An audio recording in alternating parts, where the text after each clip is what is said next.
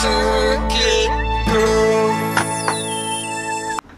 I was showing this laser off, and um, I think it was Jeri that was asking about this tube that kind of runs down the middle of it, and might be easier to see with it off. You can see there's a little glass capillary tube um, that the laser beam is kind of concentrated in. That is actually gets back to uh, modes again. Um, for a good laser, they want just to have a single mode. So they want to attenuate all those uh, other modes um, so there's not multi-mode, so you get nice Gaussian distribution out. And that little capillary tube is sized just right so that it acts like a single mode fiber. Except that it, instead of glass, it's got an air tube that the lasers go through. Ah. So that's why they put the tube in. It's not a dunkel after all. That's pretty wild. And does it have to have very precise alignment? Does it have any? Oh yes, everything has to be really precision aligned, the, the glass tube itself. And you can see at the end here that there's a little metal, um, they call it a spider, and that's to support the tube so gravity doesn't you know, pull it down so that the laser doesn't have a preferred orientation, or, uh, up or down.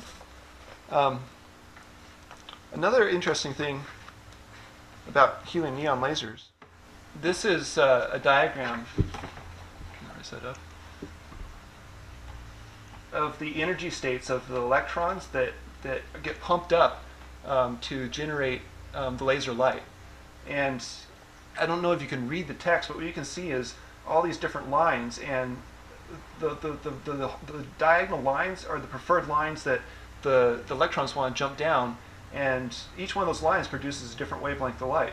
So this line right here is the 632.8 nanometers that a, a helium neon laser generates. But what's interesting is that there's a whole bunch of other colors in here. There's some, some blue lines, there's some um, yellow lines, or it's orange lines. There's you know a lot of infrared lines. So a helium, helium neon laser could be made to generate you know, uh, um, yellow light or, or I'm sorry, not blue, but green light, um, if you wanted to. Um, Would you have to change that capillary tube, or I think there's probably a lot of things you have to change. You, the reason that you only want to select one line is because any other lines that are lasing are going to be, um, let's see, which can, um, you only want one line lasing because any other lines that are lasing are stealing gain um, away from the, the, the preferred line. And so they do a lot of stuff to try to suppress those other lines.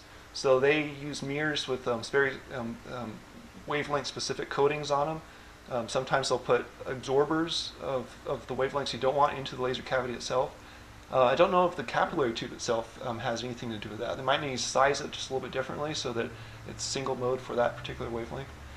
But I thought it'd be really cool if we could somehow figure out how to Hmm. convert a laser tube from red into a green one or yellow one.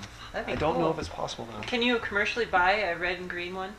Yeah, well, the, the, yeah, I've seen green and yellow ones, um, like in Edmund Scientific, but they're pretty spendy. They're probably very specialized. Hmm.